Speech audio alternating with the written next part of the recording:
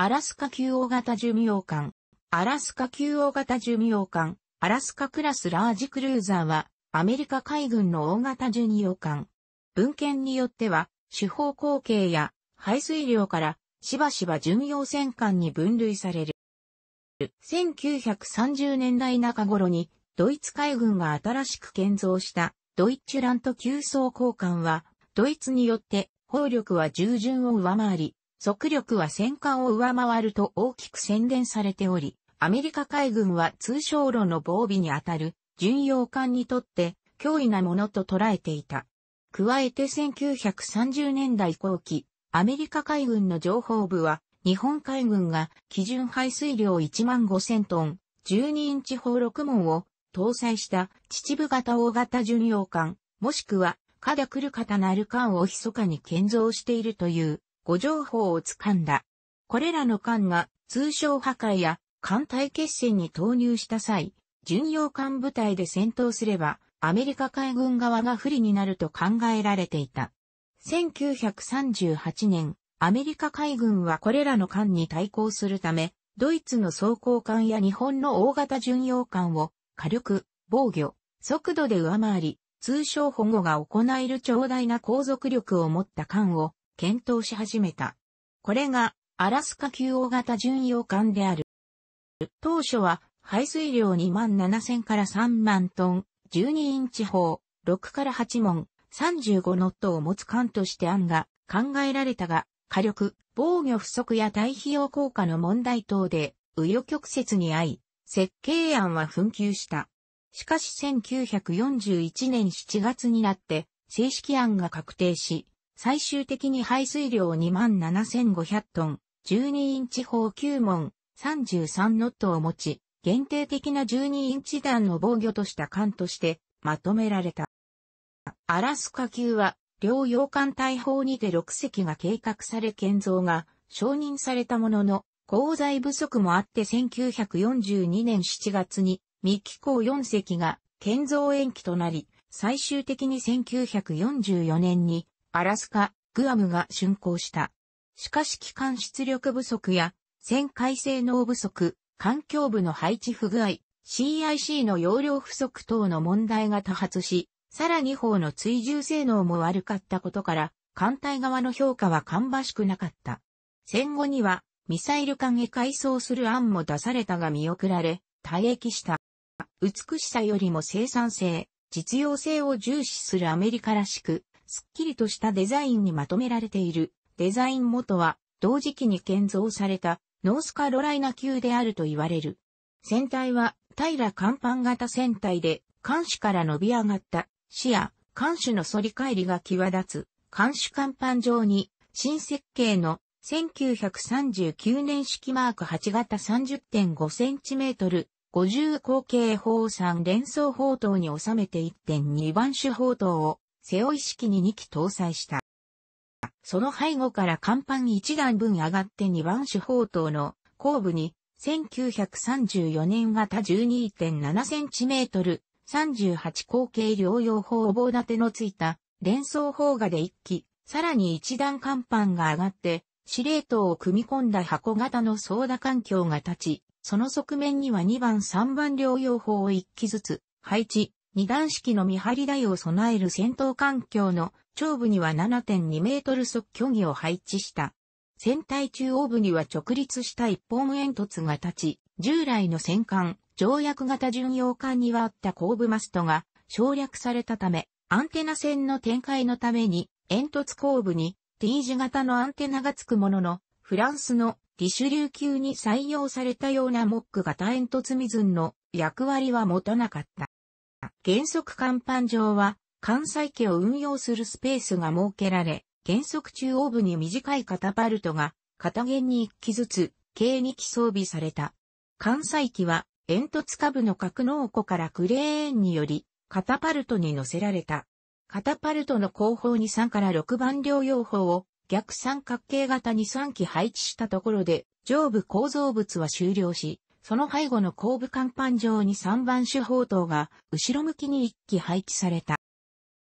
本級の船体設計は当初は戦艦と同レベルに検討されていたが、対12インチ防御を持つ戦艦設計で設計した場合は、排水量、建造費が同世代の新戦艦と変わらなくなってしまい、建造費用を抑えるために途中で巡洋艦式の設計に改められた。このため、船体は建造しやすい平ら甲板型船体となっており、艦首はしのげ波性を高くするために高くされて、側面にフレア、波を下方に落とすためのくぼみを持つクリッパー型艦首となっている。また、本級の船体サイズは、重央比率が8、1と異常に細長い。運動性能は、アメリカ海軍艦艇の中で、航空母艦、レキシントン級と並び最も悪く、直進安定性が良すぎて、火事の危機がタンカー並みに悪く、艦隊行動を乱すほどであった。これは、元々の設計が巡洋艦式で高速を出しやすい船体形状であるためと、火事の配置方式は新戦艦に採用されたツイン、スケグ、スクリュー軸に板状の構造物をつけ、スクリューの背後に舵を配置する形式ではなく、巡洋艦と同じく艦尾に一枚舵をつける形式を採用しているためでもあった。本級の手法には、ワイオミング級の1912年式マーク7型 30.5cm 50口径砲を改良した1939年式マーク8型 30.5cm 50口径砲を採用した。本級の手法は12インチ砲ながら14インチ砲弾並みの重量級の砲弾 SHS517kg が発射可能で最大行角45度で射程35,271メートルまで届かせる能力を持っていた。破壊力は射距離22,800メートル以内で原則走行 267mm を貫通し、射距離32,000メートル以上では甲板への貫通値は 182mm で、なかなかの高性能砲と言える。これを新設計の3連装砲塔に収めた。発射速度は毎分2.4発から3発である。不行は行角45度、深く3度が可能であり、動力は電動、補助に人力を必要とした。旋回角度は守備線を0度として左右150度であった。副砲の代わりに、ノースカロライナ級にも装備された、1934年型 12.7cm、38口径両用砲を採用し、これを連装砲画で6機装備した。配置方式は、戦艦のように片弦に半分ずつ搭載する方式で、なく、従順洋艦、ボルティモア級のように拮抗型に配置した。この配置は少ない搭載数でも前後方向に6門、左右方向に8門が試行できる効率の良い搭載方式である。その他に両用砲の補助として 40mm、56、後継母砲ス機関砲を4連装で14機56門、エリコン 20mm、70後継機関銃を34門備えした。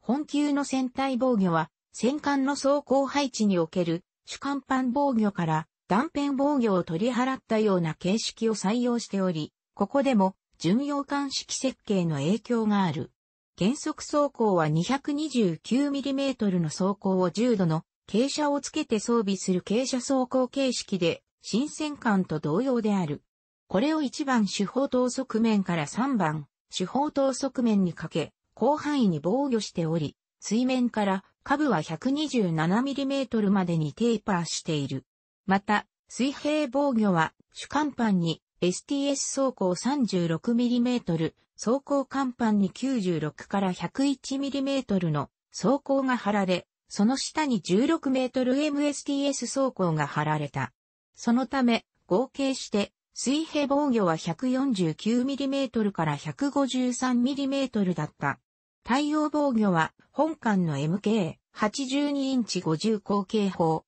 AP マーク18方向初速秒速762メートル、重量 517kg では23,500から25,000ヤード、21.5から 22.8km である。体重巡洋艦戦闘ならば、本級の防御は重防御だが、仮想的の超高順の12インチ砲やシャルンホルスト級の11インチ砲に対しては、本級の防御は限定的であり、日本海軍の混合型の持つ14インチ砲に対し本級の防御能力は明らかに低い。また、耐水雷防御が適用されている範囲は、主原則走行の貼られている範囲と同一で、そこから先は、船体下部の二重艇が、原則まで伸びて一層式の水密区画となっている、多枠区画細分化で妥協していい。防御性能は不明であるが、SX 級航空母艦の対 TNT227kg 防御より低く、対 TNT170kg 程度だったという資料もある。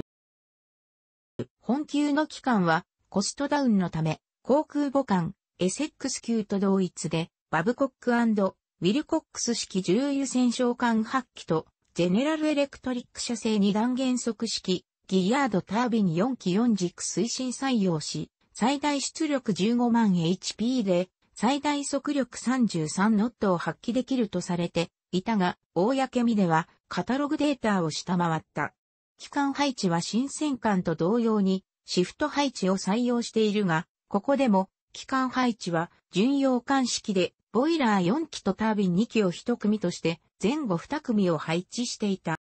以下は計画艦楽しくご覧になりましたら購読と良いです。クリックしてください。